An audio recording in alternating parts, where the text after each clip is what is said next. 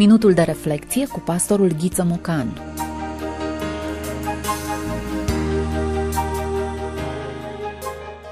Biserica nu trebuie să fie niciodată o comunitate închisă, secretă și introvertită. Orice părtășie autentică este fundamentată și centrată pe Evanghelie. Orice părtășie autentică rezultă în evanghelism, care în cele din urmă este mandatul suprem al bisericii, spunea David Cook.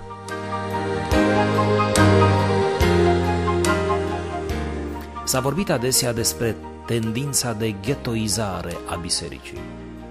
Prea multe comunități au căzut într-o formă colectivă de egoism, bucurându-se într-un mod autist de toate binecuvântările mântuirii.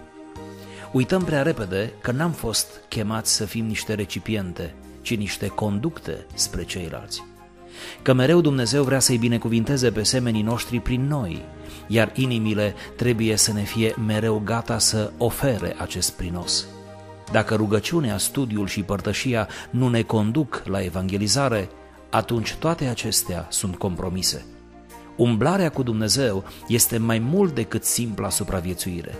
Este strădania noastră continuă de a iriga suflete însetate.